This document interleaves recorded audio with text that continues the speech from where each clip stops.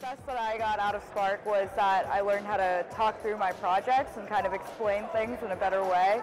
I think we get really caught up into projects and explaining things in really, in kind of very technical terms and to kind of explain it in a way that everyone could understand and just great like communication skills each year like we were able to like progress and like learn from better teams. Like um, I feel like there's a lot of smart people and there's a lot of real talent in this competition.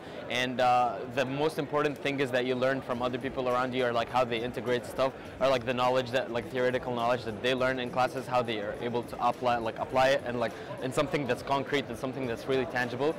It also taught me like how they split all the work I, I talked to some people who did like 600 hours worth of work but it was all effective and they were able to get a final product because they were able to split everything effectively.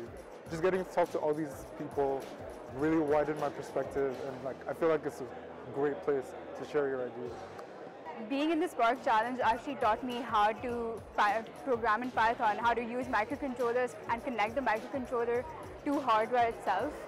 So it gave me a lot of technical skills and since we've taken this project, uh, and making it into a startup, it's going to give me a lot of like soft skills as well. So um, it's going to teach me about how to start my own business.